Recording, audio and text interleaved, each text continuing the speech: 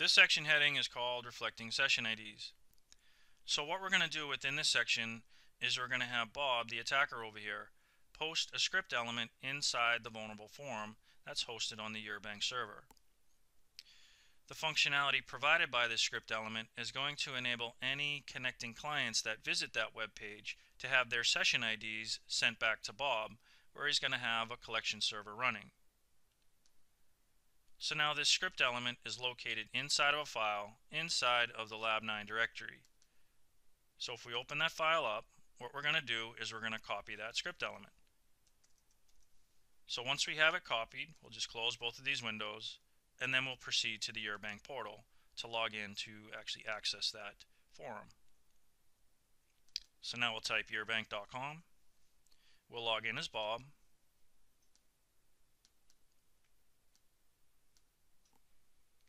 And now on the forum, we're going to post that script element. So we'll paste it in first. So now before we actually post this, let's go over how this script element reads. So we're looking at the document.write JavaScript property. So this is commonly used to update web pages. Now what we're looking to write is over here. So we're looking to write an image that's at this location to this current web page right here. So we don't actually specify an image, so what we're going to expect to see when it's posted is an unresolved image. And then once again, we're using this document.cookie JavaScript property, which can be used to detect the presence of session IDs. Now, when used in this fashion right here, what's going to happen is the session IDs are going to be sent to this location right here. So this is the attacker station located at this IP. And then on that station, they're going to have a collection server that's going to be listening on port 8000. So now we'll post this and we can see the unresolved image down here. So now this whole process here, when we post, it's stored inside of a file called com.html.